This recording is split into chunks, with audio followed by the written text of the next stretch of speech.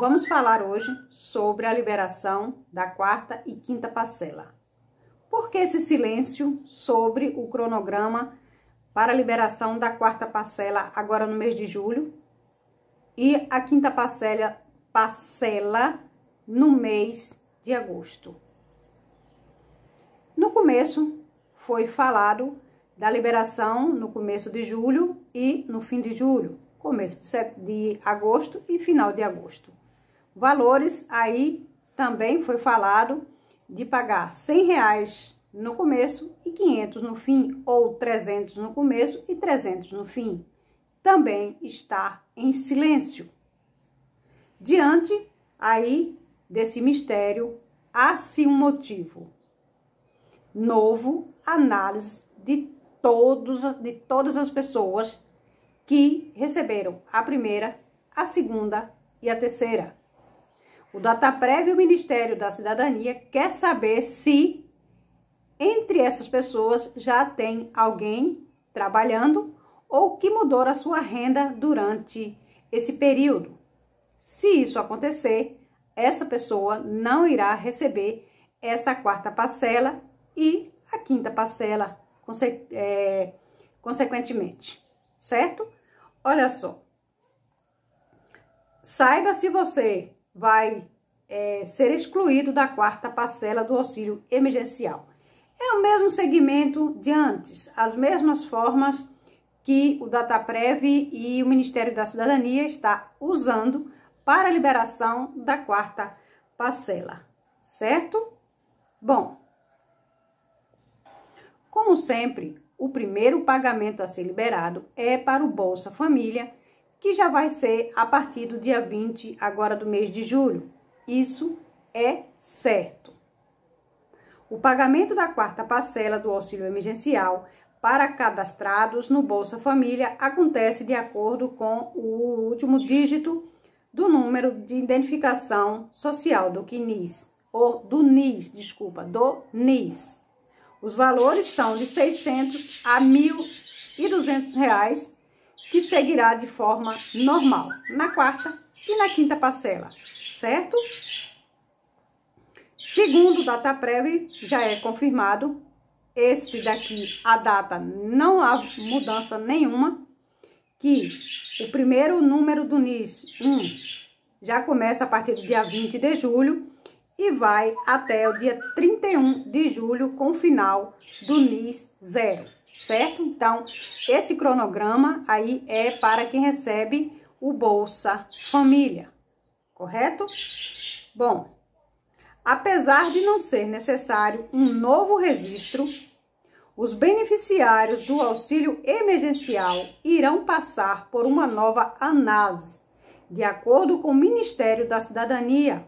Portanto, para que seu direito de receber o auxílio emergencial seja mantido, é preciso estar, estar dentro de todos os requisitos abaixo. Então, se houve alterações nesses requisitos, você provavelmente não irá receber a quarta parcela, que são eles. Contratação no período.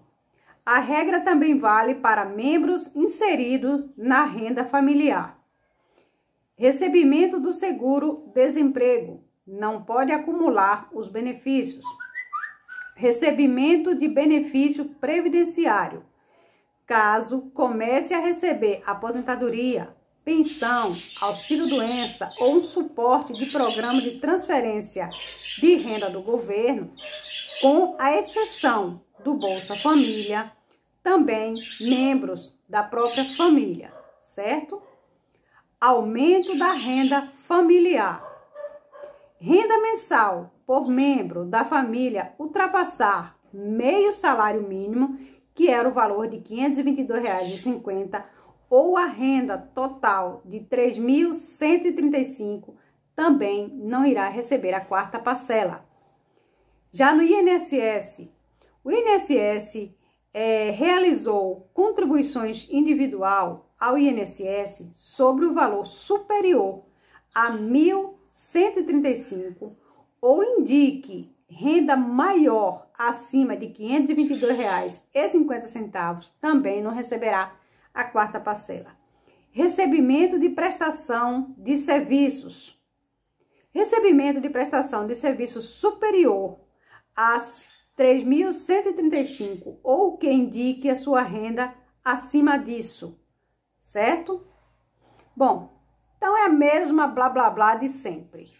O Dataprev, o Ministério da Cidadania, está verificando todas as inscrições para ver se não teve alguma alteração no mês anterior. Se teve, com certeza não irá receber o auxílio emergencial referente à quarta parcela, certo? Então, é por isso o motivo do silêncio aí do Ministério da Cidadania quanto à nova data para pagamento do auxílio emergencial no valor de 600 reais.